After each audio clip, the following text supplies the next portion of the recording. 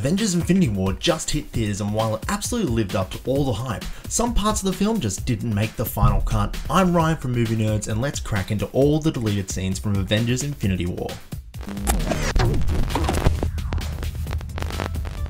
This video contains spoilers, so if you don't want to hear them, then check out now. Recently, the directors of Infinity War, Anthony and Joe Russo, sat down with Frosty from Collider to discuss the film. We are actually, to be honest with you, we uh, this Wednesday we are going to be meeting with our editor Jeff Ford to discuss deleted scenes. Right. So, I- yeah. I think the maybe Blu-ray is already being talked about. yeah, Yeah, there's ten. Maybe there's ten minutes Yeah. of footage. There's 10 minutes of footage. So what are those? Let's delve in by first checking out the trailers. Remember this epic shot from the trailers? Well, you might be surprised to hear that it ain't in the movie. There's definitely a similar shot, but it doesn't contain half of the characters and definitely doesn't contain Hulk. Because that big green mass didn't even want to show his face for over two acts of the film.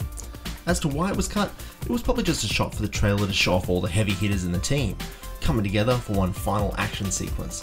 What about this quote? But this does put a smile on my face. Well, once again, not in the film. So many shots in the trailers that even changed dramatically from the final cut, like this one with Doctor Strange, Banner, and Tony Stark. While the shot appears in the film, Tony is in full Iron Man armor in the final cut. Or this one. By the time this shot came around, the Mad Titan had four stones, not two. But that's just small stuff. What are we actually missing? What are the 10 minutes of deleted scenes that the directors are talking about? Well, I would expect a half of them would just be alternate lines from the exceptional cast, but the other half I'm giving to the acquisition of the Power Stone. Last time we saw that sucker was in the hands of the Nova Corps, so how did Thanos get his dirty paws on it? Well, I would expect there to be a few scenes of the Black Order and Thanos tearing down Xandar and the Nova Corps. This should have been a pinnacle part of the film and would have explained how Thanos acquired the first stone. While it wouldn't have been quite as interesting as Thanos decimating the Asgardians, it would have been a great way to showcase Thanos' great power before the stones and seeing why he was so worthy. Now, while this is all speculation, I would expect this scene to have been in the original draft script. Whether or not it was filmed is something we'll have to wait for the DVD for.